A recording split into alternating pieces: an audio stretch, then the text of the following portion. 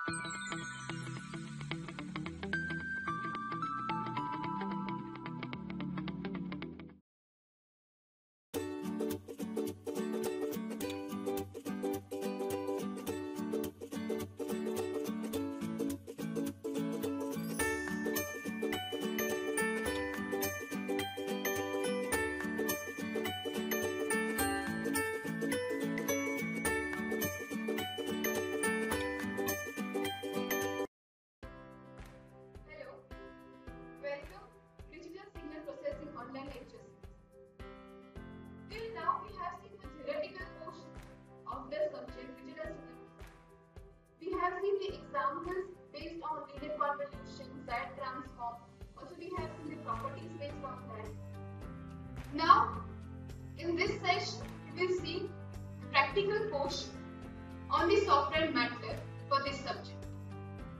So in today's session, we are going to see the first practical in which we will see how to plot the basic signals like sine, cosine, step, ramp, exponential and impulse signal using MATLAB. So in this session, we are going to see what are the instruction lines for that, what are the codes we are going to use and what are the meaning of using each and every instruction line in this MATLAB. So what are the MATLAB codes which are used to construct the basic signals? In this session, we will see sine, cosine, step, ramp, exponential and impulse signal generation using MATLAB functions. So let's start with that. Okay, so to plot the first signal that is our sine signal, we need to give the time period starting and ending time in between which sine signal is to be plotted. As we are plotting the discrete sequence, we need to give the intervals or spacing between the signals and we need to give them the function using which they can plot the discrete sequence. So first of all, here in the MATLAB window, we are going to give the first function that is time period t. We are taking over here that is t equals to 0 to 5 with the gap of 0.1 and we are going to multiply it with pi. So this line indicates that the signal or the sine function is to be plotted from the time interval 0 to 5 pi with the spacing or the discrete interval of 0.1. Now, as we want to plot the sine signal, we need to give the function a equals to sine of t. That means it will access the inbuilt sine function and it will plot the sine function. Now, we need to give the position where the signal is to be plotted and for that the function used over here is called as subplot. Now, as we are using over here subplot 3 to 1 that means this indicates what? That it will divide the figure screen or else output window in number of 3 rows 2 columns and it will plot the sine function at the first position of it.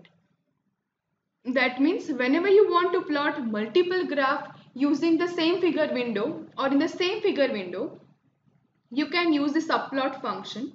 This will divide the screen or else figure window into three rows, two columns and it will plot the signal in the first position. Okay. Now, next we need to give the function stem.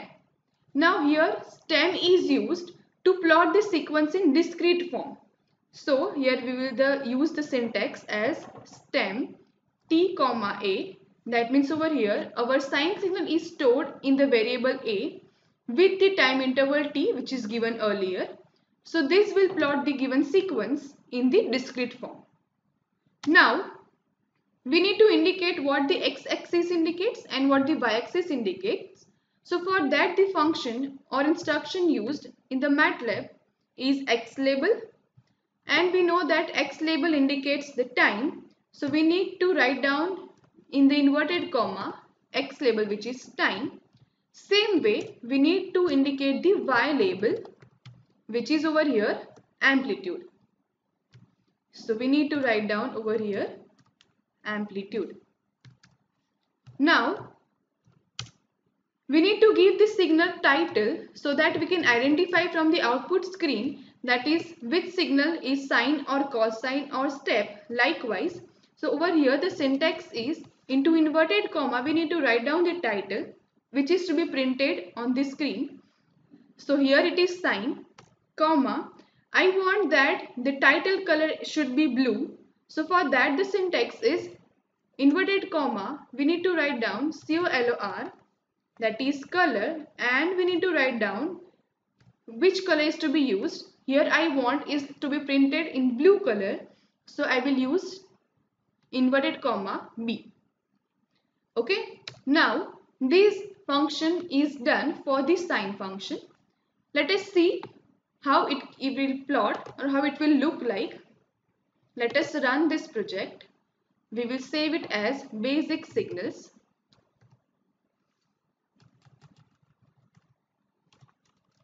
Here it will use .m extension for MATLAB files.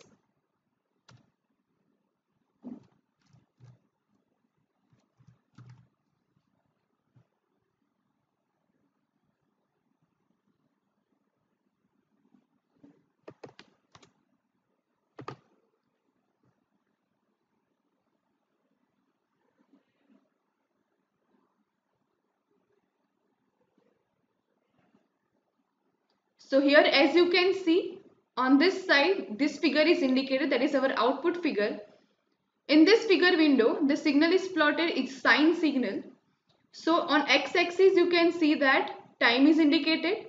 On y-axis amplitude is indicated and title over here given is as sine signal and as we have given the time interval 0 to 5 pi this signal is plotted in the interval 0 to 5 pi with the spacing of 0.1 okay? So if you want to see the spacing it is 0.1 and it is plotted likewise. Okay? Now let us continue this to plot the further signals that is cosine step ramp exponential and impulse signal. So we are going to use this instruction lines as it is and we'll do the minor changes for further.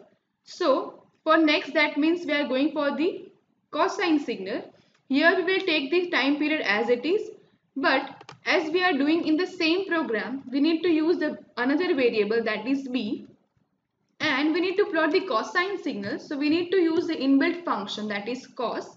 So here we'll have the instruction line which is given as b equals to cos of t.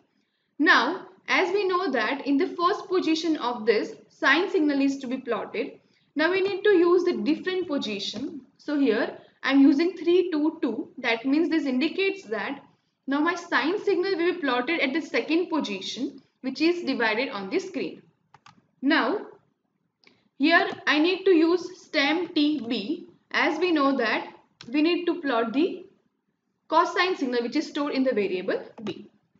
Here x label is time, y label is time which is remained same. Now title is to be modified as cosine signal as we have plotted the cosine signal. Same way we are going to do the same procedure for the next signal which we are going to perform that is step signal. For that we are going to change the time interval so that we can make the time change or else we can indicate the step change. So here we are going to take time period t equals to minus 5 with the interval of 0.1 to 5 and we need to use the another variable that is c over here. And here as we know that it is step signal we can use it as t greater than or equals to 0 because we know that step signal is plotted for the t greater than or equals to 0 interval Alright, now in this position we are going to use stem 3 to 3 because at 3 to 2 cosine is there. Here we need to make the change at stem TC. Now x label is amplitude, y label is x label is time, y label is amplitude that is fixed. Here we need to change the title. We are plotting the signal step so we need to make the title change which is step. Now we are going to do the same procedure for the next signal that is ramp signal. So over here we are going to take the time period t same. We are going to change the variable d from the variable c and we'll take the condition d equals to t because we know that with respect to time the signal also increases for the ramp signal. Now we need to make the change subplot 3 to 4 and we need to take the variable stem t d over here. Now the title over here is ramp signal because we have plotted the ramp signal over here. Alright. Now again same procedure is to be done for the next signal which is in our case exponential signal. Now time period will remain same. We are going to use another variable e. For inbuilt exponential function we'll use exp of t which will use the inbuilt MATLAB function exponential and it will plot the exponential signal at the figure window side. Now this subplot is to be changed 3 to 5 as at the position 3 to 4 ramp signal is there. Here it is to be plotted as stem TE. Now here we need to change the title which is exponential signal. So we need to write down over here exponential. Now same way we are going to plot the last signal that is impulse signal. Now we know that impulse signal is that signal which has the value at the zero value in only. That means at time period t equals to 0 it will give the signal otherwise it is 0. So let us take the variable f over here. To plot the exponential signal we have used e variable. Now we are using variable f for impulse signal and we know that the condition for impulse signal is that that at t equals to 0 it is 1 so for MATLAB instruction, we need to use double equals to 0, which indicates that at the position t equals to 0, the signal is to be plotted. Here we need to give the subplot 3 to 6 and we need to give the stem t f function and we need to make the change in the title which is in our case impulse now. So let us make the change in this title which is impulse. Now we have plotted all the signals over here now let us see how it will look at the output side by running the code.